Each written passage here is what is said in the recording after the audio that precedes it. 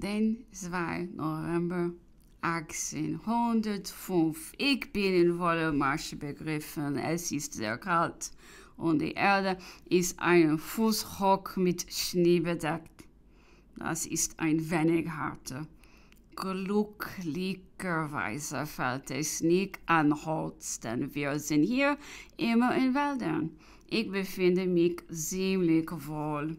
Meine Sachen gehen zu meiner Zufriedenheit und meine Feinde müssen besorgter sein als ich.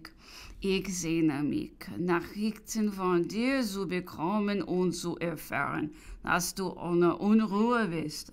Leb wohl, meine Freundin, ich will zu Bett gehen den 5 November 1805. Ich bin zu Linz. Das Wetter ist schon. Wir sind 28 Grüße von Wien. Die Russen halten nicht aus. Sie sind in vollem Rückzug. Das Haus Österreich ist sehr verlegen. Mannschaften von Wien, das ganze Gepäck des Hofes fort.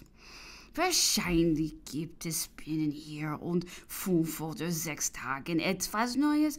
Ich wünsche sehr, dich wiederzusehen. Meine Gesundheit ist gut. Ich kümmere dich. Den 15.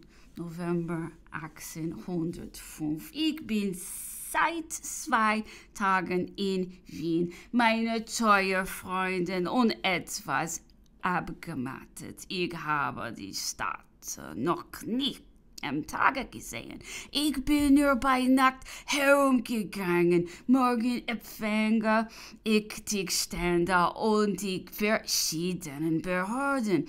Fast alle meine Truppen sind gesetzt der Donau und wir folgen die Russen. Liebwohl, meine Josephine, sobald es möglich ist, lass ich dich kommen. Tausend Zärtlichkeiten.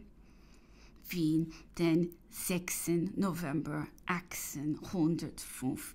Ich schreibe an Herrn von Harville, dass du abreisen und dich über Baden und Stuttgart nach Munken begeben sollst.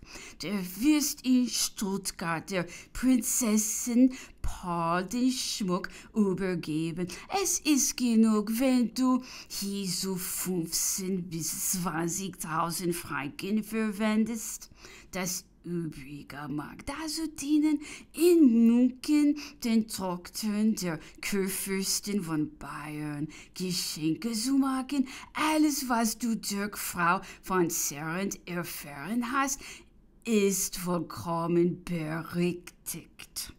Nimm das nötige mit, um den Damen und Beamten, welche Dienste bei dir haben, Geschenke machen zu können. Sei artig, nimm aber alle Huldigungen an, denn man ist dir alles schuldig und du bist niemandem etwas schuldig, aus was du aus Höflichkeit gewähren willst. Die Kurfürstin von Württemberg ist ein Tochter des Königs von England. Sie ist eine gute Frau und du musst sie auch gut, aber ohne Zwang behandeln. Ich werde mich freuen, dich zu sehen, sobald meine Geschäfte es erlauben. Ich gehe zu meiner Avantgarde. Es ist ein schreckliches Wetter und schneit stark. Übrigens gehen mein Engel gut. Leb wohl, meine teure Freundin.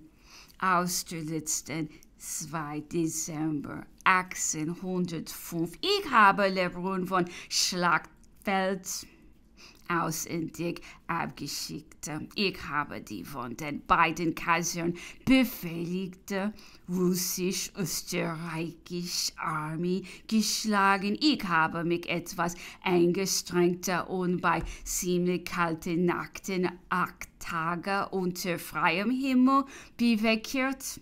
Ich übernachte heute im Schloss den Fürstin Kaunitz, wo ich zwei oder drei Stunden schlafen werde.